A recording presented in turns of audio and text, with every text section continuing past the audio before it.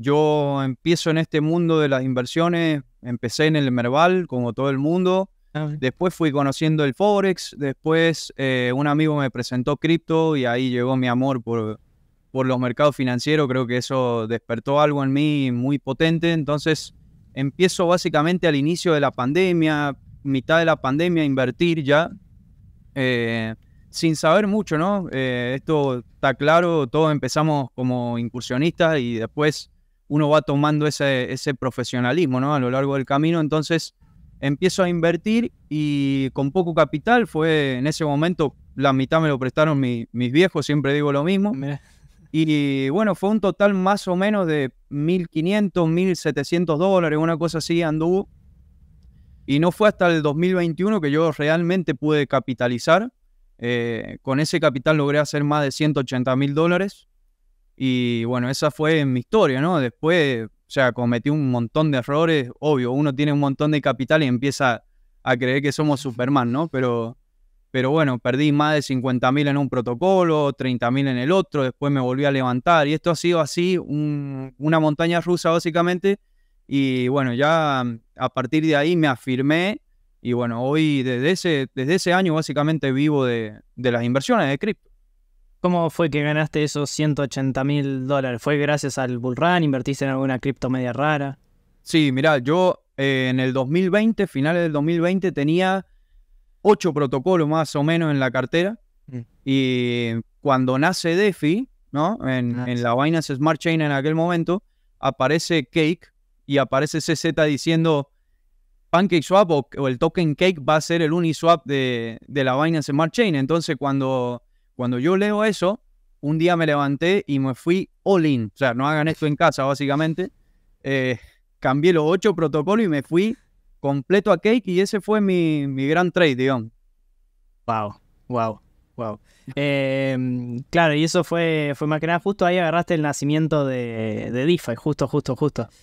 Exactamente, sí, sí. Estaba todo ese, ese auge ahí, ¿no? Esa euforia y era todo nuevo, imagínate. O sea, todo punta de lanza, éramos lo que nos metíamos ahí. Mm. rata de laboratorio, le digo yo. Entonces, eh, nada, sufrimos un montón de ataques primero, obvio, se ganaba un montón, pero así también eh, uno no estaba muy preparado, ¿viste? O sea, eh, eh, es un poco eso lo que mi experiencia, ¿no? Uno arranca, ve tremendas ganancias, era refrescar el, el celular, el Mm. portfolio y era subida de a 20 mil, a 30 mil, los que han estado en, en TraderX en ese, en ese tiempo o han, o han vivido, ¿no? El, el bull run pasado, saben de lo que estoy hablando y no es para nada una locura. ¿eh?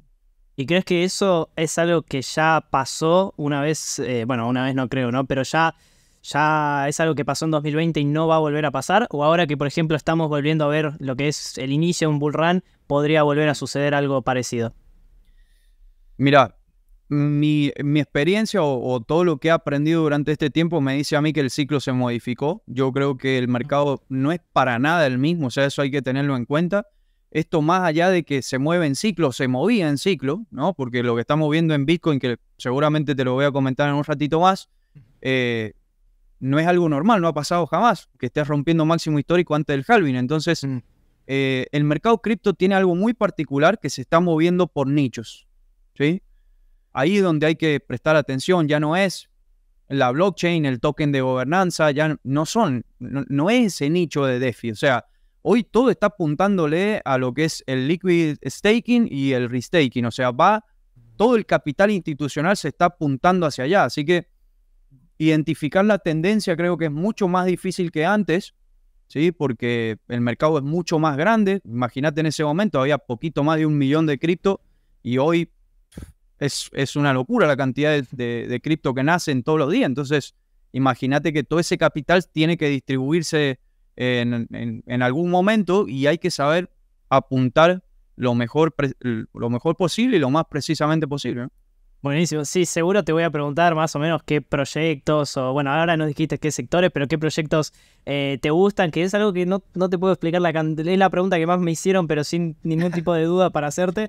Eh, pero antes te quiero preguntar también eh, justamente esto de Bitcoin, que empezó a subir antes del halving, o sea, rompió su máximo histórico antes del halving, lo cual es una locura, y si crees que hay alguna razón por la cual no para de subir estos últimos días, y si crees que va a seguir subiendo, o que bueno, igual eso es imposible de saber, ¿no? Pero debería seguir subiendo por, por ese fundamental, ¿no? Que lo está subiendo subir ahora. Bueno, eh, una gran pregunta. En realidad, eh, yo soy de las personas que con el tiempo trato de opinar menos y basarme más en, los datos, digamos. O sea, eh, al día de hoy hay mucha gente que no conoce realmente los fundamentos de Bitcoin y simplemente una conversación, viste, no, yo creo que va a llegar a 50 millones de dólares, o sea, pero ¿en base a qué? ¿No? Y esa es la pregunta que yo trato un poco de, educar a la gente en la comunidad y la gente que me pregunta. Pero te lo explico y para toda la familia, ¿no? Tratemos de ir a la base. Hoy en día, un bloque de Bitcoin se crea aproximadamente en 10 minutos. Eso es lo que tarda Bitcoin en crear un bloque. Bien. Si hacemos las matemáticas, podemos ver que son 900 Bitcoins aproximadamente al día que se están creando. ¿no? Es el suplido de Bitcoin diario. Entonces, yo hice un estudio de dónde estaba yendo el, una vez que se aprobaron los ETF, ¿no? 10 de enero, hasta el 14 de febrero yo hice un seguimiento de todo ese flujo solamente con BlackRock, el ETF de BlackRock, que es el administrador de activos más grande del mundo, ustedes ya saben. Bien, entonces en esa cantidad de días, BlackRock más o menos adquirió un total de 2.857 Bitcoin por día. Yo te comenté recién que el suplido de Bitcoin solamente son aproximadamente 900. Entonces, si hacemos la resta ahí, hay una cantidad de 1957 Bitcoin aproximadamente que el mercado no está pudiendo suplir. Entonces, si se crean 900 y yo estoy necesitando para un fondo de inversión nada más 900, 1927 eh, o 57 adicionales, vos imagínate si yo empiezo a hablar de, State, de State Street, eh, Vanguard Group, o sea, Fidelity, todos los fondos multimillonarios que existen al día de hoy que a través de los ETFs están pudiendo entrar al mercado como tal de forma regular. Ley de oferta y demanda, ya, o sea, yo, más, claro no se puede explicar. Y hay otro fundamental también que es el halving de Bitcoin. O sea, el mes que viene va a suceder otro halving, por lo cual esos 900 se van a reducir a 450. Entonces, si el suplido va para abajo y la demanda va para arriba, yo creo que la pregunta es, ¿Qué razones tiene Bitcoin para bajar de precio o no seguir subiendo a largo plazo? O sea, no lo encuentro, ¿me entendés? Mm, tal cual, tal cual. Sí, eso la verdad que le, estuvimos dando. Hay ciertas páginas y así que, que muestran los, los ingresos que van teniendo los ETFs. Es terrible porque van entrando 400, 500 millones por día de dólares, ¿no? Lo cual es, es un montón de plata. Em, y bueno, muchos, justamente por toda esa euforia, por todos los ETFs y la plata que entra, Mm. Eh, se dan todos los escenarios de las proyecciones del halving, viste, que proyectan que, como vos decías, que va a llegar a 50 millones, o que va a llegar a 30 millones. Eh, y bueno, eh, justo es, algo medio loco porque se combina la visión de un lado de que hay gente muy eh, optimista, de que capaz cree que va a llegar a un millón por el tema de los ETFs, pero hay gente que venía siendo un poquito más pesimista porque viste que en cada halving Bitcoin va subiendo menos. ¿Vos tenés alguna opinión respecto a eso? Que comentabas que justo el halving este es medio raro. Es que, a ver, ya teniendo la pauta de lo que te dije al comienzo, de que nunca habíamos tenido un Bitcoin rompiendo máximo histórico antes de un halving, eso jamás había pasado. Entonces, yo creo que los, hablar de precios y proyecciones, que toda la gente quiere saber eso, ¿no? O sea, que, Franco, ¿a qué precio va a llegar Bitcoin? Porque vos sabés, porque Jan, vos sabés, entonces decime. Es prácticamente imposible. O sea, hoy el precio que le pongamos a Bitcoin puede ser posible. ¿Por qué? Por lo que te comenté recién. Segundo, porque hay instituciones, por ejemplo, la DTCC, que es uno de los reguladores de bolsa más grandes del mundo al día de hoy. Está trabajando estrechamente con Chainlink, que es una blockchain, ustedes ya lo conocen. Tiene más de 12 mil millones de, cap en este momento. Es una, una cuestión loquísima porque Chainlink está trabajando con la DTCC para traer los activos del mundo real, es decir, los RWA, a la blockchain directamente. Entonces, esto jamás había sucedido tampoco porque es un estudio objetivo que sacó la DTCC, lo publicó oficialmente, que dice que solamente la economía de Estados Unidos puede inyectar más de 100 trillones en la blockchain cuando la tokenización de activos se empiece a poner en marcha fuerte. O sea, si yo mido eso y pongo solamente como parámetro 100 trillones que puedan entrar en algún momento en la... A ver, solamente en Estados Unidos, ¿qué puede pasar con el precio de Bitcoin? No lo sé. Yo lo único que sé es que el número puede ser estratosférico. Ahora, objetivamente, no podemos hablar porque, o sea, hay cosas de los mercados que no vamos a controlar jamás, ¿no? Pero bueno, está bueno saber que eso, la proyección de ganancias todavía puede ser al menos también bastante, bastante grande, que es importante.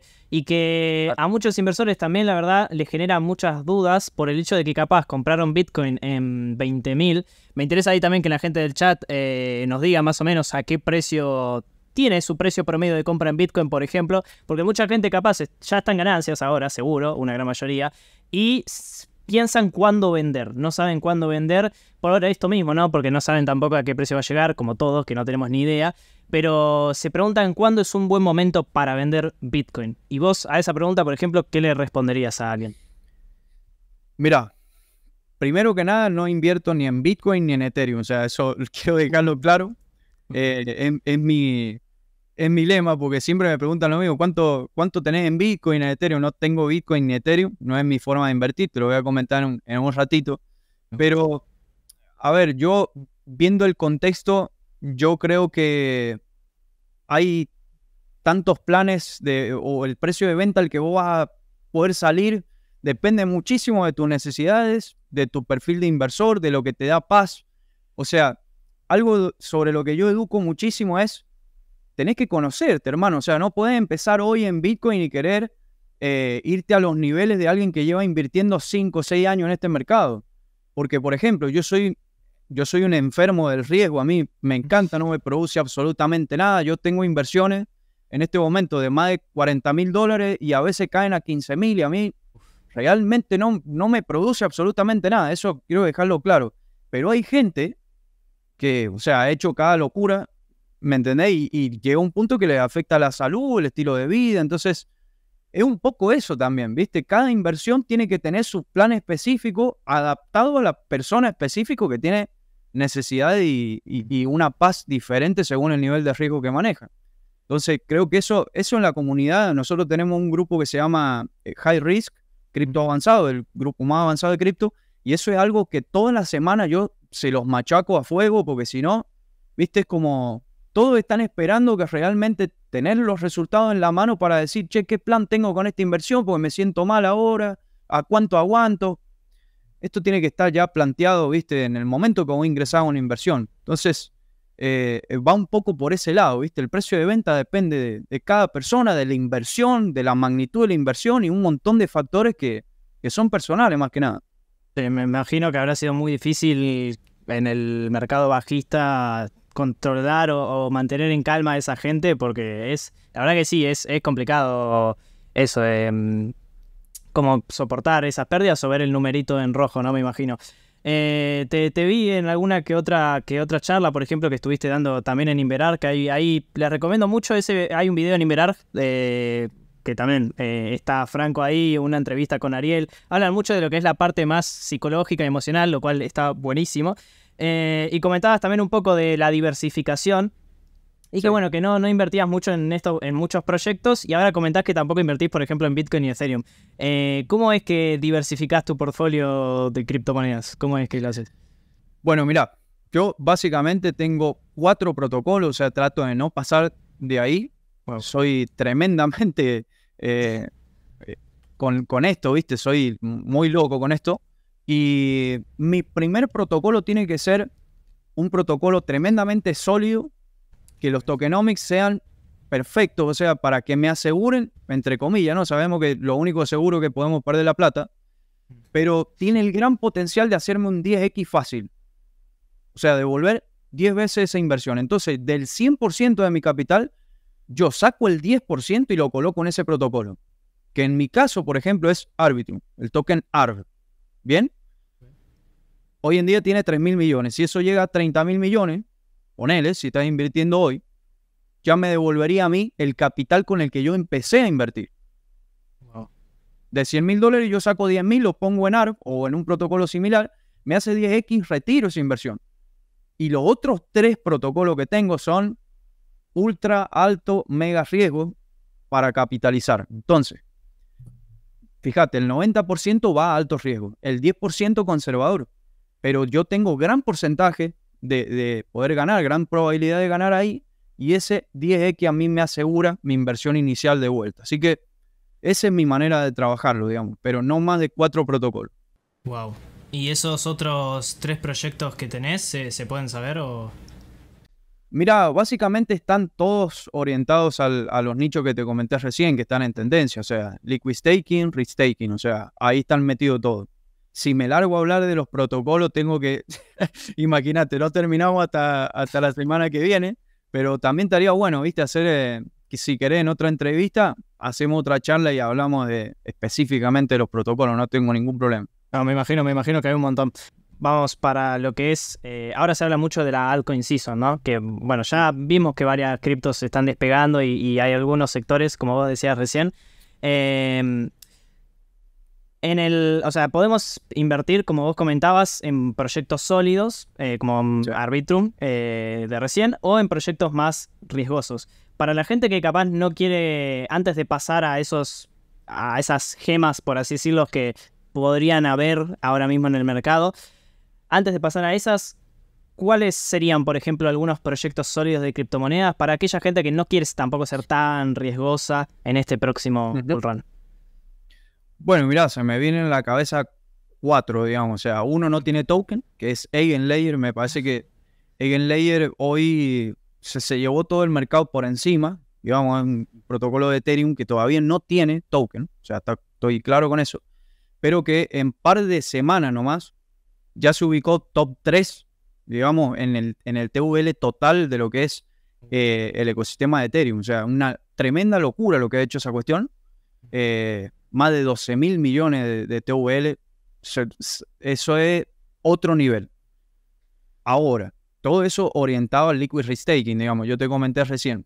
Chainlink para mí es fundamental para la gente conservadora y eh, Arbitrum, por supuesto, estamos claros, y Camelot, que es el DEX de, Arbitrum. Me, encanta por la tokenómica, en realidad, o sea, su supply máximo no supera los 70.000 monedas, entonces eso para mí es brutal.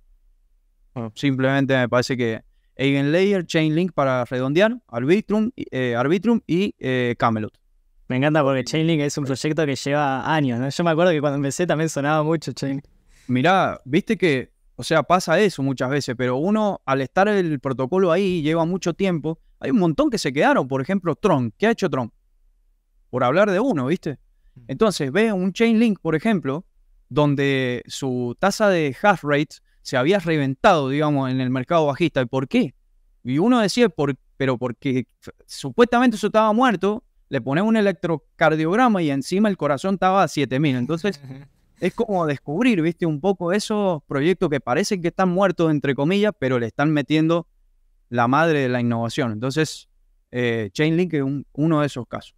Y todas estas criptos, eh, o sea, seguro que no te acordás el gráfico de memoria de todas, pero me refiero, eh, la mayoría de estas criptos ya son... ¿Crees que fue el momento de entrar ahora? ¿Crees que con todo lo que ya subió al mercado hay que esperar un poco a que baje?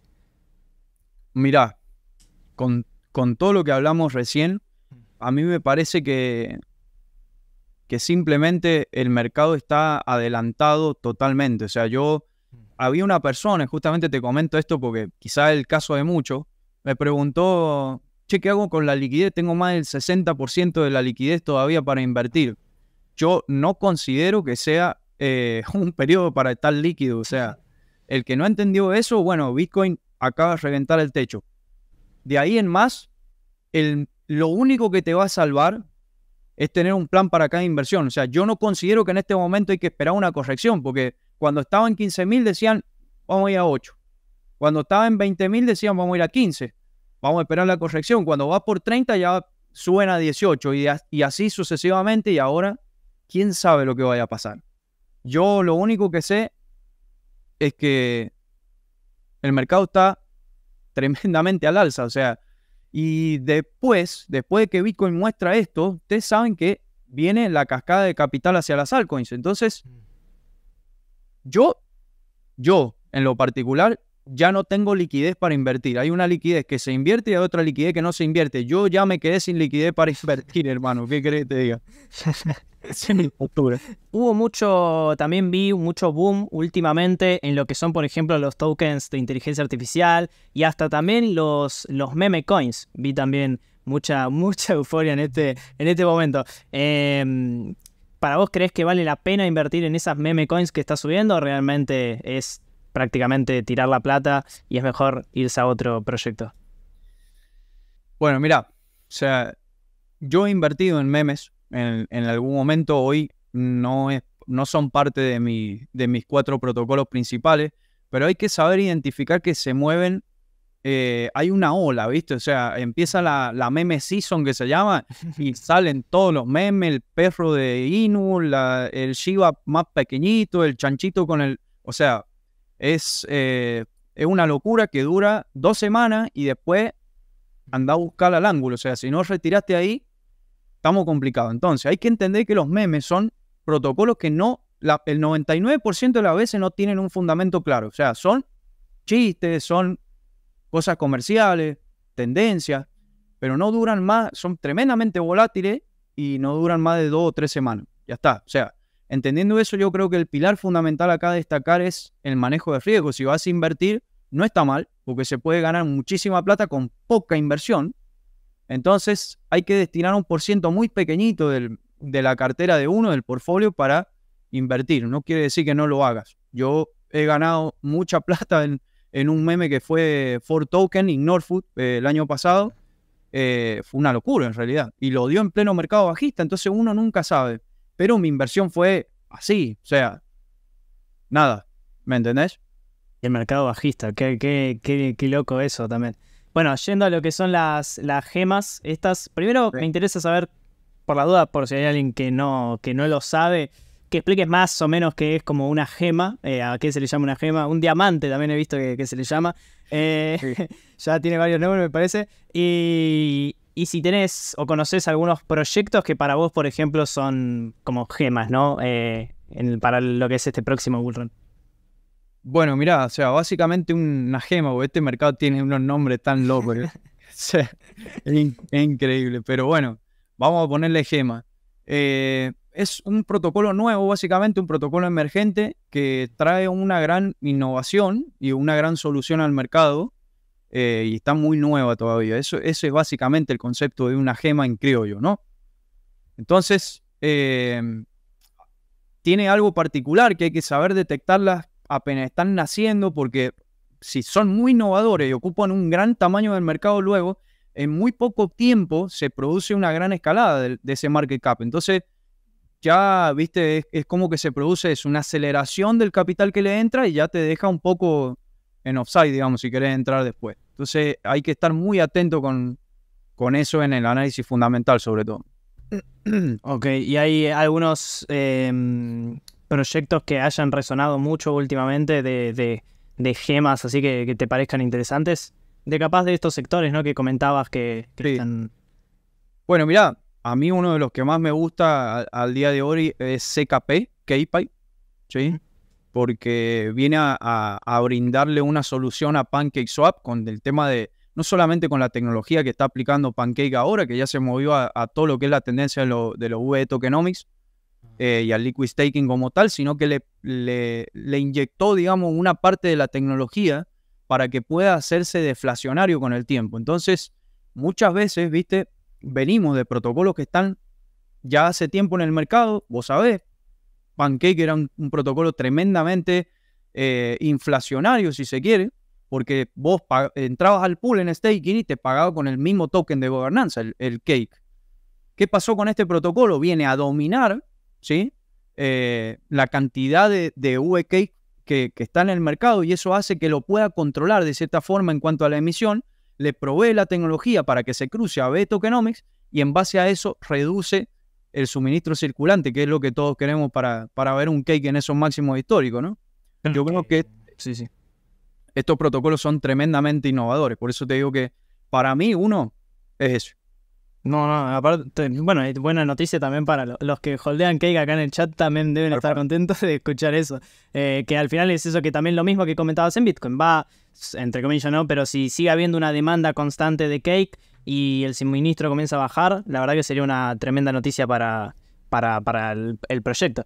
Antes de pasar a, una sección que generalmente le hacemos a, todos los invitados y evidentemente vos tampoco te la vas a perder, eh, te quiero hacer una consulta porque capaz hay ciertos em, términos o cosas que seguramente alguno no entienda qué significa o qué son, eh, como esto de, los tokens y demás, o de la liquidity, eh, etc.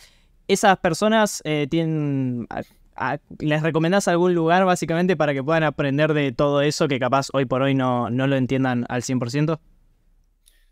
Bueno, mirá, o sea, nosotros estamos, nos hemos comido en el mercado bajista básicamente en TraderX estudiando todo esto.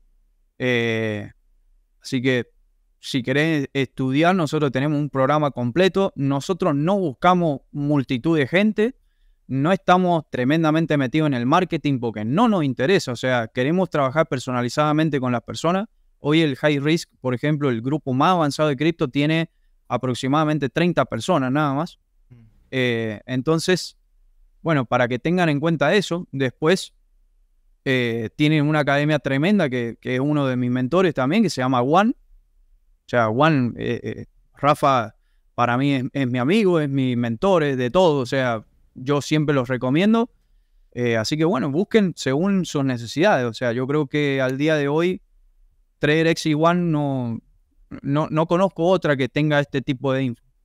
Buenísimo, preguntaba más que nada por, por eso, porque sé que seguramente haya muchas dudas al, respecto de todos estos. Sí, Es que lo que pasa, Jan, y déjame esta aclaración, o sea, son, son nichos súper nuevos, ¿me entendés? Entonces, sí, es rarísimo. El mercado avanzado en un par de meses lo que a otro mercado le tarda décadas. Entonces, esto es para nosotros un laburo de 24/7, imagínate. Es, imposible seguirle el ritmo, pero estamos ahí, ¿viste? Tratando siempre de estar a la, vanguardia con lo más posible. Claro, como cuando, sí, como tal cual, como cuando salió DeFi al inicio, que capaz al principio no se sabía ni qué era DeFi, y ahora, bueno, ahora ya es algo medio obvio, pero, pero bueno, ahora pasa eso, está pasando seguro con muchas cosas. Bueno, a todos los invitados básicamente que vienen por acá, le hacemos como una sección básicamente de ping-pong, que son preguntas y respuestas rápidas. Te hago una pregunta rápida, vos respuesta rápida. Si querés, hay entrevistados entrevistado que capaz se extienden un poco más, pero eso depende de vos. Eh, nada, la primera pregunta, si te parece, va, te, estás, ¿estás de acuerdo? Sí, por supuesto. Buenísimo. Eh, la, primera pregunta es: ¿no hay nada? tipo se cae la, conexión, no, no fue nada intencional. no, no, hay, ninguna cosa media rara, así que no, no te preocupes. Eh, primera de todo, criptomoneda favorita. Eh. ¿Criptomoneda que menos te gusta? Shiba. ¿Alguna cripto que pensaste que iba a funcionar y no funcionó? SBDO la última cripto que compraste o vendiste? Última cripto que compré, eh, Penpay. Ok. Eh, cripto que más te hizo ganar y perder. Creo que ya lo sabemos, pero. Cripto que más me hizo ganar y perder. Eh, SBDO. Ah, mira. Eh, bueno, expectativa del mercado para los próximos 12 meses no tengo, no tengo un número que, no pueda ser real en mi cabeza, hermano, pero siempre abocado al plan. Eso es todo. Ahí va. Y bueno, y un consejo que te hubiera gustado que a vos te den cuando capaz recién empezaste y te gustaría dárselo acá a la gente que está en el chat viendo esto. Consejo. Que, que toda la gente que, que está, que sale ahora, digamos, a hablar de cripto, que ha estado muerta básicamente todo el mercado bajista. Hoy vienen a recomendar, recomendar protocolos, recomendar inversiones. Mm, acá nadie tiene la bola de cristal. Nunca se coman el Lamborghini, digamos, como, como fuente de inspiración para querer invertir o estudiar en algún lado. Hay muchos mentores que no, que no saben de cripto, pero se llenan de plata simplemente por tener un auto lujoso. Olvídense de esa gente, hagan las cosas bien, esto es un trabajo que no es fácil. Acá se gana dinero y se pierde también, se pierde mucho más de lo que se gana hasta que logras revertir la ecuación y esto te puede cambiar la vida, pero para que te cambie la vida tenés que hacer un trabajo de raíz. Tenés que hacer un trabajo profesional y tomarte esto en serio. Yo siempre tengo una frase, y con esto te cierro, Jan, que es la siguiente, o sea, vivimos postergando aquello que nos puede cambiar la vida y priorizando lo que simplemente no nos va a llevar a ningún lado. Entonces, para mí eso es fundamental. Yo me tomé esto en serio cuando vi el potencial y tuve esos resultados en la mano, dije, yo tengo que ser lo mejor que yo pueda en este mercado para lograr lo que quiero lograr. Hoy en día las proyecciones, de no solamente mías, de la comunidad, gente que ya está ahí cerquita de las seis cifras otra vez y todavía esto no ha empezado, no ha pasado nada. Así que hay tiempo, todavía hay un poquito de tiempo, hay que educarse a full y hacer las cosas bien y no dejarse llevar por la opinión de nadie, porque los datos pueden reventar cualquier opinión de allá afuera. Simplemente eso. Excelente, eh, excelente. La verdad, bueno, muchas gracias. Eh, Franco, por, por estar acá y por todo. Obviamente, nada, quedaron, siempre quedan muchísimas preguntas por hacer, pero bueno, eh, ya en alguna próxima ocasión espero que podamos resolverlas y, contestarlas todas. Pero bueno, más que nada agradecerte por estar acá y, darnos toda esta info que fue un montón, la verdad, un montón, un montón. No, un placer, un placer. Saben que también Inverag en mi casa, yo se lo he dicho a Ariel un montón de veces, tengo una tremenda relación con él, con ustedes, así que para mí un placer que me inviten y bueno, siempre al servicio de poder dar valor y, ayudar a la gente lo más posible. Esa es mi misión. Buenísimo. Muchas gracias, Franco. Cualquier cosa te encontramos ahí, ¿no? En TraderX. Por supuesto, traderx.com.ar, la página web, o nos escriben directamente, ahí hay un botoncito de WhatsApp para comunicarse con nosotros directamente.